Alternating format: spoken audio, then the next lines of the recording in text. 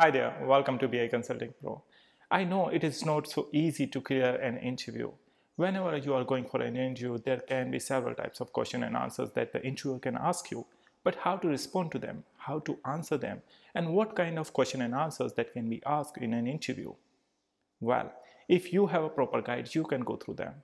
And in this video, I'm gonna help you how to clear your Power BI interview. I'm going to let you know all the question and answers that can be asked in an Power BI interview. So this is going to be a series. In this five episode series, I'm going to let you know all the question and answers with my own experience, what you can expect in your interview and how you can answer to all of them. And not only that, if you are a member of our channel, then you would get a PDF where you can find all the question and answers for your future reference as well. So please join our channel and stay tuned with me till the end of this video.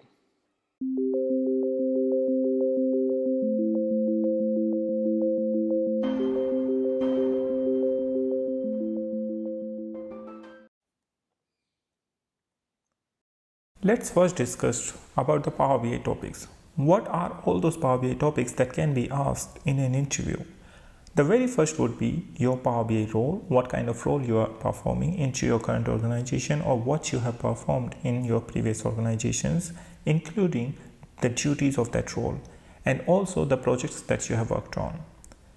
After that, interviewer can ask you about the Power BI performance questions. That means what are the best practices, how are you going to improve the performance of your existing reports and there can be certain scenario based questions where interviewer can ask you how would you improve the performance of your Power BI report or Power Query or maybe the way you are refreshing your data.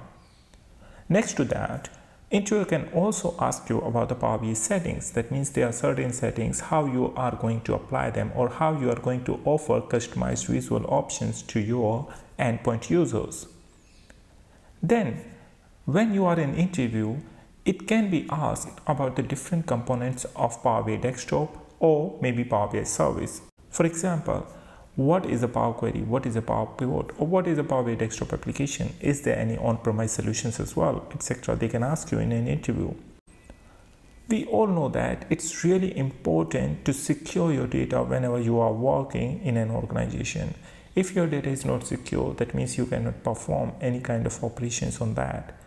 By this means, I really want to emphasize on the security of your data. You cannot allow unauthorized users to use your data.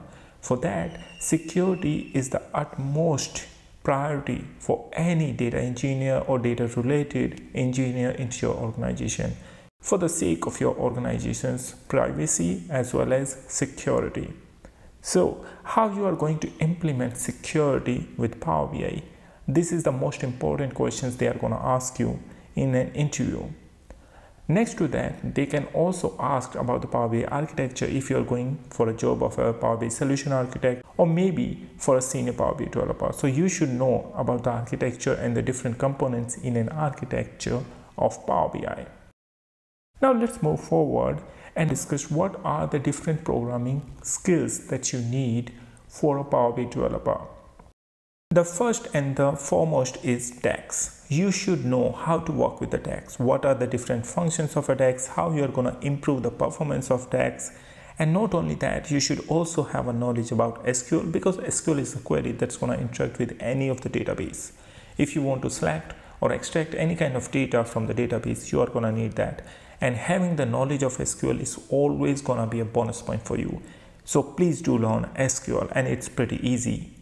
Next to that, there's mQuery for the advanced users. So if you are working on a Power BI and you are quite experienced one, then you should know how to apply different mQuery functions or how to go to the advanced editor and apply certain operations over there, how to parameterize your Power BI report.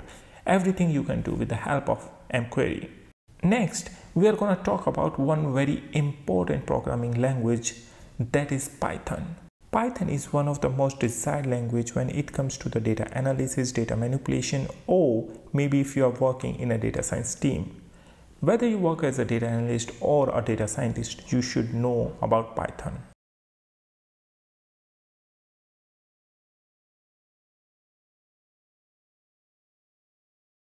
Now let's discuss about the data modeling.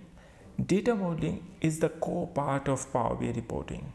Whether you do the data modeling at the database side or you do in Power BI, this is going to be a game changer because without data modeling, you cannot analyze any data into Power BI reporting. Whether you are working on a small data or a large amount of data, you have to do the data modeling. So the interviewer can ask you about the different types or the concepts about the data modeling, what are the different schemas over there, how you are going to do the data modeling with Power BI, how you are going to apply security concepts in the data model. So everything you should know about that. We have already created a complete data modeling video with Power BI.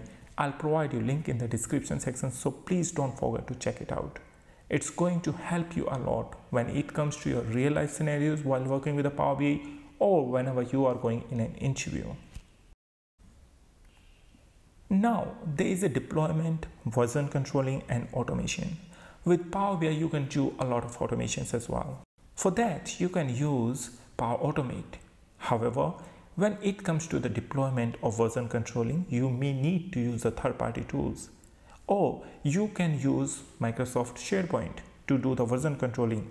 Some of the organizations they also create their own app because there is no inbuilt functionality in Power BI to do the version controlling. If you have to apply these different concepts while working with the Power BI, how you are going to do that? How you are going to deploy the Power BI reports or how you are going to publish the Power BI reports in Power BI services while maintaining their different versions? What are the deployment pipelines in Power BI? how to use them, how to do the automation of your report refresh, or maybe you have to send an email to someone who doesn't have a Power BI license, or what are the different external tools and how to use them. So your interviewer can definitely ask you questions about them if you are an experienced Power BI developer. Next to that comes the data warehouse and ETL. Nowadays, we are moving towards the cloud. Well, not all, but most of the organizations have already moved on the cloud. That means you should know how you are going to perform your ETL operations over there. ETL simply means extract, transform, and load. Ingesting data in Power BI can happen into multiple ways. There are three different kinds of storage mode in Power BI. That means when we ingest the data in Power BI, we either we can load the data directly into our Power BI file or we can connect live or we can have a direct query option.